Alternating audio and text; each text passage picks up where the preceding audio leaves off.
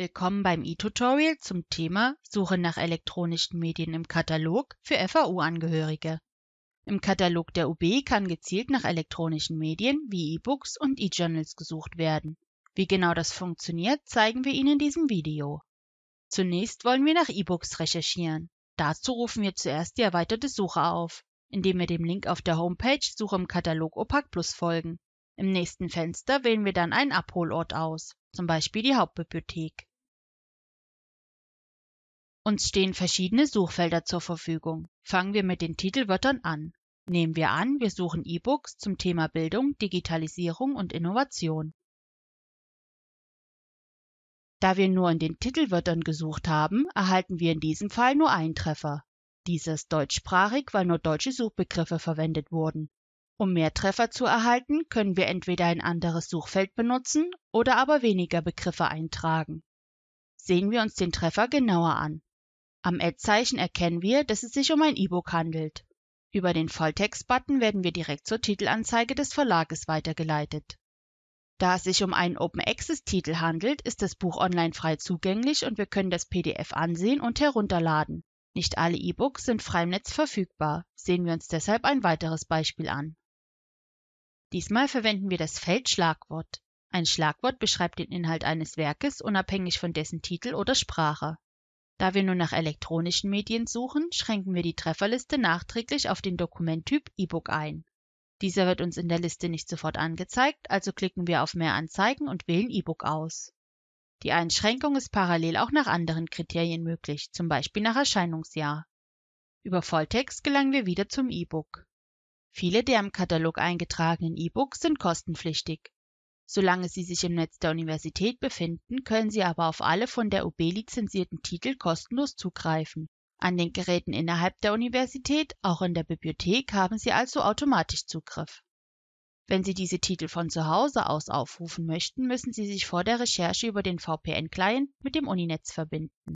Dies gilt auch für den WLAN-Zugriff. Ob Sie sich bereits im Uninetz befinden, sehen Sie in der Trefferliste auf der rechten Seite in der Box IP-Zugriff. Da wir uns gerade nicht im Uninetz befinden, wird uns das E-Book nur zum Kauf angeboten. Sobald wir uns mit VPN verbunden haben, wird uns der Volltext angezeigt. Je nach Lizenzvertrag haben Sie unterschiedliche Möglichkeiten, das E-Book zu nutzen. Teilweise ist es Ihnen nur erlaubt, das E-Book online zu lesen. In den meisten Fällen dürfen Sie entweder einzelne Kapitel oder das komplette Buch als PDF herunterladen. Teilweise ist dies aber auch auf einen bestimmten Prozentsatz pro Session beschränkt. Da jeder Anbieter seine Webseite unterschiedlich gestaltet, müssen Sie die Option zum Herunterladen in einigen Fällen etwas suchen. Sollten Sie hier Hilfe benötigen, können Sie sich gern bei der Online-Auskunft melden. Weitere Informationen über den Zugriff via VPN finden Sie auf unserer Homepage unter der Rubrik Recherchieren und Online-Zugang. Eine Anleitung zum Installieren des VPN-Clients erhalten Sie auch in unserem e-Tutorial zum Thema E-Book-Zugriff via VPN für FAU-Angehörige. Sollten Sie Probleme bei der Installation haben, wenden Sie sich gern an das Rechenzentrum. Sehen wir uns nun eine Zeitschrift an. Zeitschriften sucht man am besten über die Titelwörter. Unser Beispiel heißt Kölner Zeitschrift für Soziologie und Sozialpsychologie. Füllwörter wie Präposition und Artikel können wir bei der Suche einfach weglassen. Da wir nach einer Zeitschrift suchen, schränken wir den Dokumenttyp auf Zeitschrift ein. Ob eine Zeitschrift gedruckt oder elektronisch vorliegt, erkennen wir wieder am Symbol vor jedem Treffer.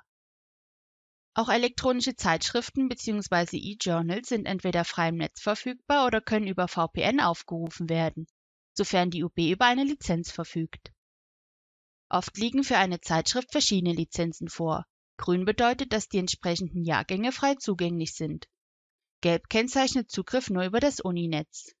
Mit Klick auf zu den Volltexten werden wir zur Verlagsseite weitergeleitet und können nun auf einzelne Zeitschriftenhefte und Artikel zugreifen.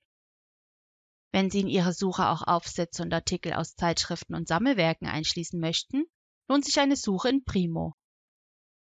Dabei handelt es sich um ein Zusatzangebot, das eine Fülle von verschiedenen Datenbanken nach Aufsätzen, E-Books und vielem mehr durchsucht.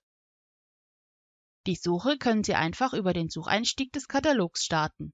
Da Primo Schlagwörter nicht unterstützt, geben wir unsere Suchbegriffe bei den Titelwörtern ein. In der Trefferliste wählen wir jetzt oben den Reiter Primo aus. Auch hier haben Sie wieder die Möglichkeit, Ihre Trefferliste einzugrenzen, zum Beispiel auf Aufsätze. Primo zeigt Ihnen bevorzugt Online-Ressourcen an. Das heißt, wenn Sie über VPN mit dem Uninetz verbunden sind, erhalten Sie in der Regel mehr Treffer. Primo eignet sich bei der Artikelsuche allerdings nur für einen ersten Überblick. Bessere Suchergebnisse erhalten Sie, wenn Sie in einschlägigen Fachdatenbanken recherchieren. Welche Datenbanken es zu Ihrem Fachgebiet gibt, können Sie über DBIS einsehen. Den Link dazu finden Sie auf unserer Homepage. Wichtig bei der gezielten Suche nach elektronischen Medien ist die Verbindung zum Uninetz mit dem VPN-Client. Nur so haben Sie Zugriff auf die von der UB lizenzierten Titel. Um sich in der Trefferliste nur bestimmte Medientypen wie zum Beispiel E-Books anzeigen zu lassen, schränken Sie diese einfach nachträglich über den Dokumenttyp ein.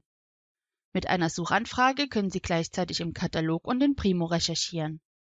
Sie erhalten zwei Trefferlisten und können einfach zwischen den beiden Reitern Katalog und Primo hin und her wechseln. Sollten Sie weitere Fragen oder Probleme haben, wenden Sie sich gern jederzeit an unsere Online-Auskunft.